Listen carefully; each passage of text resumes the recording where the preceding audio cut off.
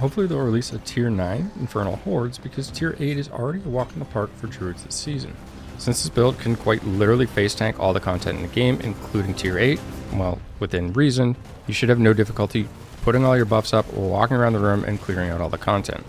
Welcome back to MinMax RPG everyone, and I don't typically do build updates in this fashion. What I normally do is just update the build planner and leave pinned comments so that people are aware of the changes that have been made from the original video. However, the changes to this build have been so massive, these changes improve the damage of the build by almost 50% in terms of output. It also improves various resists across the board and allows you to comfortably farm tier 8, where it previously farmed tier 7 at a more comfortable level. This video will feature some updates to the Vroom Vroom Boom Boom or Cataclysm Boulder Druid build that was aired recently. If you're looking for an in-depth explanation of how the build works, I'll leave a link in the video description where you can check that out. This video is just going to cover the changes that have been made in the update. A lot of times when you're planning a build, what you're doing is getting to a point or capping the build out and then looking for areas that you can tweak or improve to continue that success. Since this build had continued to progress without much difficulty, I had missed a couple of those things, and thanks to viewers like you, we're able to get these things taken out and improve the damage output. For starters, I want to reiterate that you're going to want a Dolmen Stone with a greater affix on the Nature Magic cooldown reduction. If you're lucky enough to roll the bonus on Masterworking once or even twice, you'll have an enormous amount of cooldown reduction for your Cataclysm. As you can see, that'll allow you to have something similar to the setup shown in these videos. This will give you nearly a 20 second cooldown with a 21 second uptime. This allows for a little bit of overlap and you can comfortably maintain this and never worry about your spirit.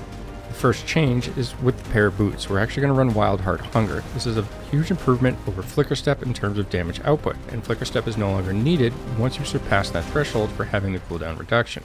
Much like Quick Shift, you'll be able to maintain these stacks while spamming Blood Howl. You'll have tons of cooldown reduction, tons of kills within the Infernal Hordes, and this will allow Blood Howl to come back up, thanks to the innate property that it has to reduce its own cooldown by one second every time you kill an enemy. And then you can essentially spam this, maintaining both stacks. Some of the aspects have also changed, so we're going to go ahead and cover the legendary aspects. You're going to run Aspect of Retaliation. Your core skills are going to deal additional damage based on the amount of Fortify you have, in the beginning, I was worried about maintaining Fortify in order for this aspect to be worthwhile. However, it's proven that you essentially can maintain your Fortify for the vast majority of the time and get a significant damage boost from this.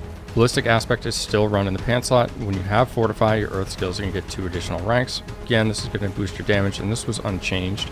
Aspect of Metamorphic Stone is also unchanged, just covering all the legendary aspects here. Finally, Edgemaster's aspect. Now, there's still some tests being done between the interactions of what happens when we have this unlimited spirit that you get from the Najelnik ring. There are various nodes that work, things that don't, and in this case, through my testing, it looks like Edgemasters does work, and most of the skills that actually say they're reliant on spending spirit do not. However, Edgemasters is not reliant on spending that spirit, it's just what's available, and it does seem to have some benefit here. If you have any question about that working or not, you can run Aspect of Inner Calm. You'll get a lot of benefit of that 10% multiplicative damage to start, and you get 30% multiplicative damage when standing still. This can be useful at various times within the Infernal Hordes, especially on the bosses.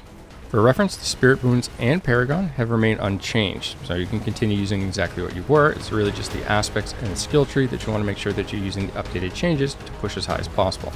Be mindful of all the requirements in order to make this build successful. It is capable of working with less cooldown reduction. You'll have to use something like Flicker Step in order to recover that cooldown and just get more uptime, but all this is mentioned in the build guide. As always, thanks for taking the time to watch, and have a great day.